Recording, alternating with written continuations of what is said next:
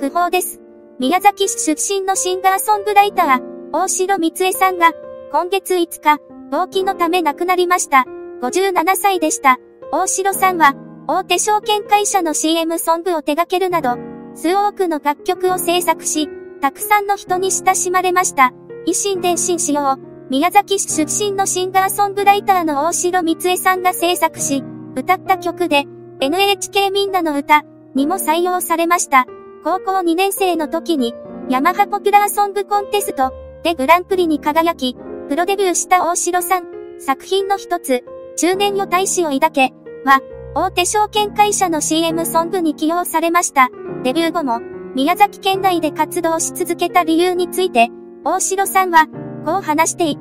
ました。大城光恵さん、家族だったり友人だったり、空とか星とか自分にとっての大事なものがたくさんあるから、というのが一番の大きい理由で、大城さんは、県内の企業やイベントなどにも多くの楽曲を提供し、明るくポップなメロディーで、親しまれてきました。大城光恵さん、頑張ってずっと宮崎からいろんないい歌を曲を全世界に向けて作っていきたいと思います。7年ほど前から闘病生活を送り、57歳という若さで亡くなった大城さん、数々の楽曲は多くの人の心に刻まれています。大城さんには、MRT のテレビ、ラジオ番組でも多くの楽曲を制作していただきました。ネットの声、ここ最近、訃報が相次いでますが、中年よ、